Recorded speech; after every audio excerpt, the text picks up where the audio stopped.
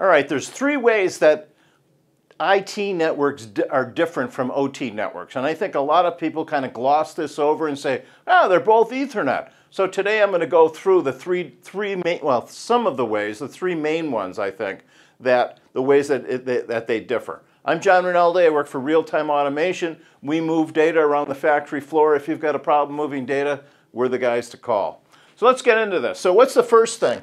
The first thing is what is the purpose of the network? Okay, so if we're talking about, so number one is what, what, what are they, what problem, what purpose does the network have? If you're an IT network, the, one of the things what IT is trying to accomplish is to, essentially is to provide a utility. They're like they're, they look at providing Ethernet service to their customers, just like the people that supply the water, supply electricity, supply the HVAC throughout the building. I mean, it's no more than because they just want to make sure, hey, there's a service on, people can use it. So it's it's kind of looks like it, it's an, an they look at it like it's an IT, uh, like it's a utility. OT, this is actually they're part of production.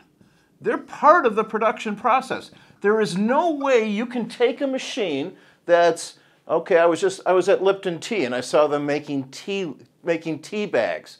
There's no way you can separate the control pro, the controls and the network that runs the controls from the actual production of the tea bags. You can't do one without the other.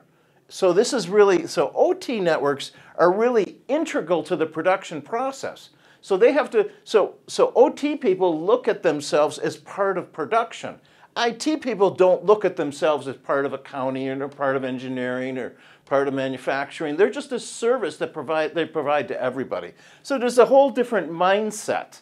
Maybe that's a better, better word than purpose.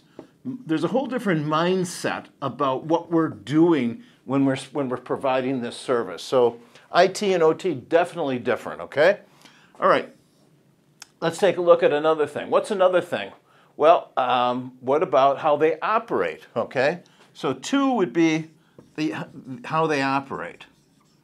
Um, OT needs to have almost real time.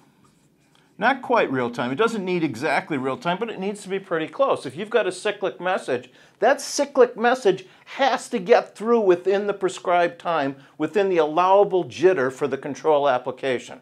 It cannot be delayed.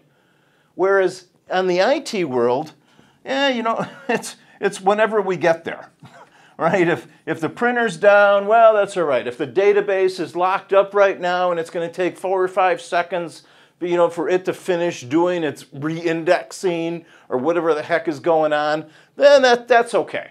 So the IT, you know, for when you're operating an IT network, you really don't care about you know that kind of service. With the OT world, that really, really matters a lot to us. Another thing is, you know, in the, you know, VLANs, we use VLANs differently. The, o, the IT people use VLANs to monitor all of their switches. So they put all of their switches on a VLAN. In, the, in OT, we, we use a VLANs totally differently. We use VLANs to segment some, some equipment for specific reasons. And uh, I'm not going to get into the details of that, but we use VLANs totally different than that. In, in OT, we also use rings. Rings are completely anathema to IT. You don't, you they, they go to all kinds of trouble to make sure that they never have a ring.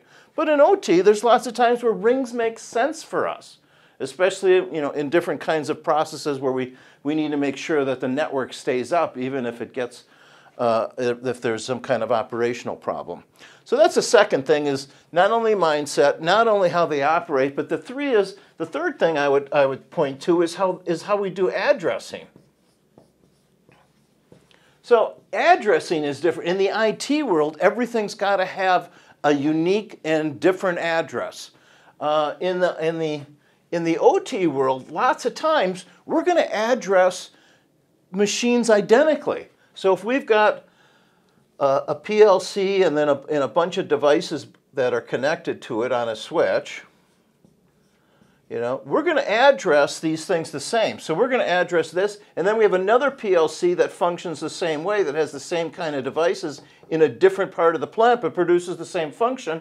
This guy's going to have the same address. This guy, device X, is going to have the same address as device X over here. If this is a drive, it'll have the same address over here. The advantage, and I talked about this in another video just the other day, was that you can now, if you change, if you change this PLC program, you find a bug in it, you tune it up, you add something to it, you just copy it right over here and put it in that PLC program. Because all the, we're using these private reserved address, company reserved addresses, we can just copy PLC programs from one place to another. That's, that's the reason that we don't want all of these devices on the IT network because they can't handle this, the idea of the same addresses being in in, uh, in one place and being in another place, having duplicate addresses. It just kind of blows their mind that, you do, that we do that. So OT is really different than IT. The way you do the, the way you set the networks up, the way you design them, the way they're architected, they're completely, completely different. This whole idea of IT OT convergence, and I've said this before, I should have my hard hat on because a lot of things are going to hit me over the head on this.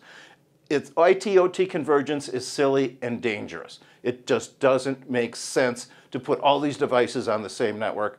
And I've got another video that goes into that in more detail. But there's a big difference between these kind of networks. And uh, I hope that today that I've illustrated exactly why. So now if you need, you know, what we're, you know, I'm from real-time automation. What we do is move data around the factory floor. If you have a problem where you need to get some data out of a machine and get it to some application, we can help you with that. Give us a call. There's some links below. Thanks very much. Have a great day. I'll see you in my next video.